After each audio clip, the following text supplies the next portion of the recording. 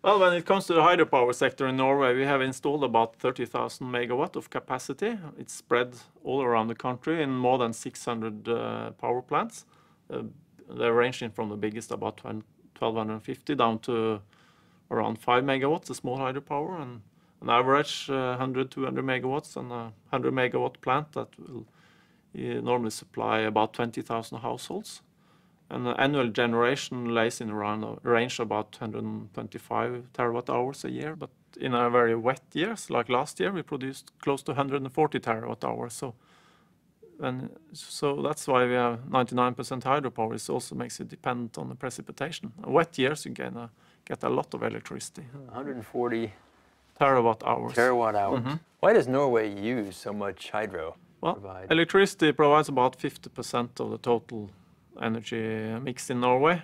We use electricity for heating.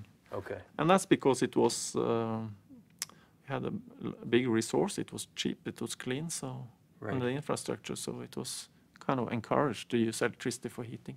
Uh, renewable energy provides more than 60% of the total energy consumption in Norway. And that's compared with the EU 20% targets. For, by 2020, we are quite well above that. You're in good shape. You're in good shape, yeah.